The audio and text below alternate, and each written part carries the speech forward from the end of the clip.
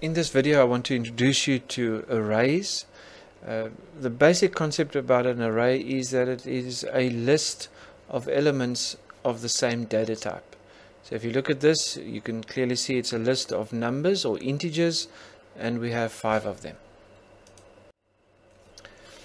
So in this case we've decided to call our array list, that is the name of the array it's similar to giving any variable a name. So you can give it any name, but the list, the name list is typical.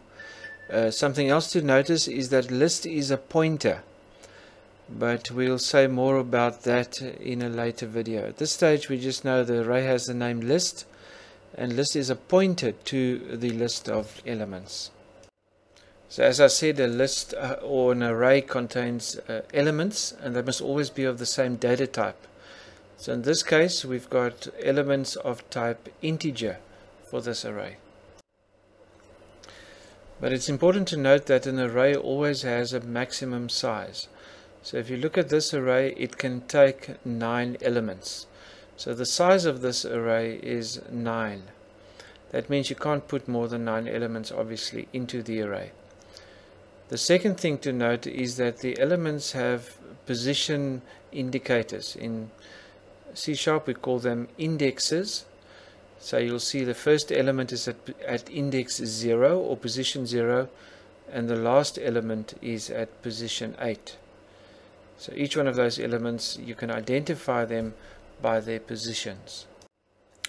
So if an array has a size of 9 but it currently contains 5 numbers then we say the number of elements in this array is 5 so it has a size of 9 and number of elements is 5.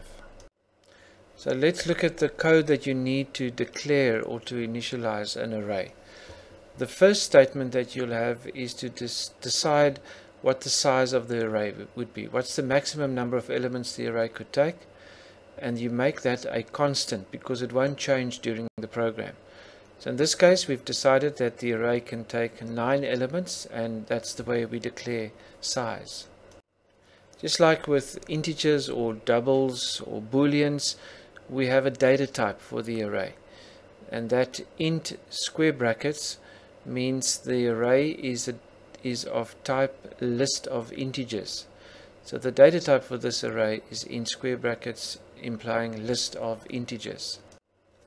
So combining the data type with the name of the array, we get the pointer list, which we say can in the future point to an array. Notice at this stage, it does not point anywhere yet. We've just declared the, the variable list or the pointer list, and we say it can point to an array of integers.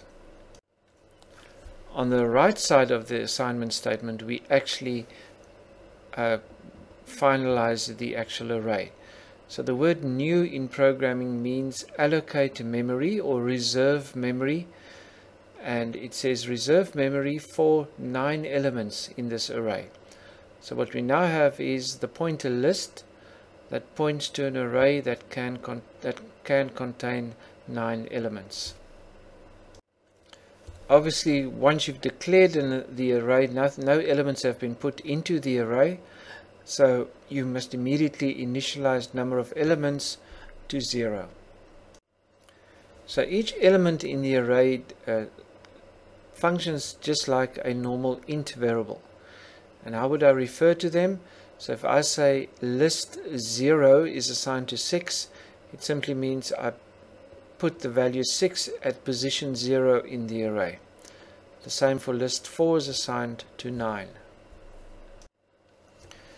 If you want to work with arrays, it's important to know a few basic facts. Um, in first years especially, but mostly when you work with arrays, you tend to fill them up from the left. So in this case, the first element would go to position 0, the 6, and then the second element, the 4, would go to position 1. The next element would then obviously go to position 2. It is interesting to note that whenever you're adding a new element to the array, filling it up from the left, the new element will always go to position number of elements. To make sense out of that, if you look at the array in front of you which contains the values 6 and 4, number of elements would be 2. The last element is at position 1, therefore the next element will go to position 2, which is the same as number of elements. If this array had contained 4 elements with number of element 4, then clearly the fifth one would go to position number of element. It is kind of obvious that whenever you're adding an element to an array, you must directly after that increment the number of elements.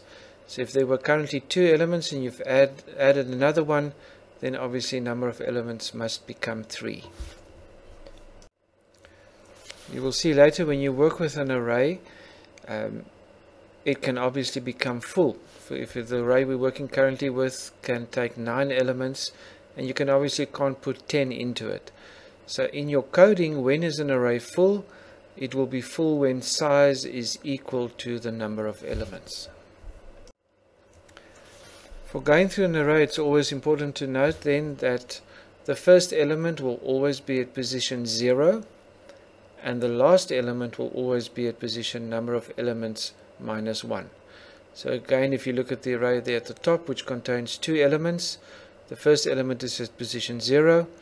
This last element, element 4, is at position 1, which is then obviously number of elements minus 1.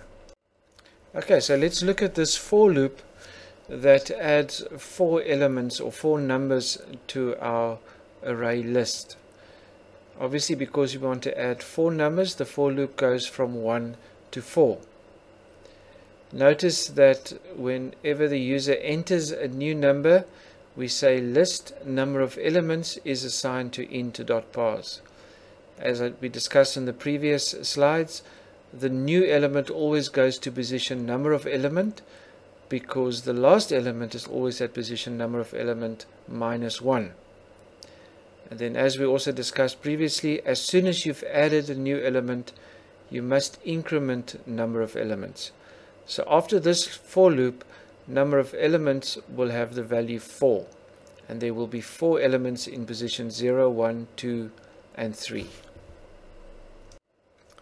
Now we've added a for loop that allows you to print the contents of the array. So whenever you go through an array or we say traverse an array, the for loop needs to start at the first element and stop at the last element. So notice it starts at 0 and it stops at number of elements minus 1, the last element.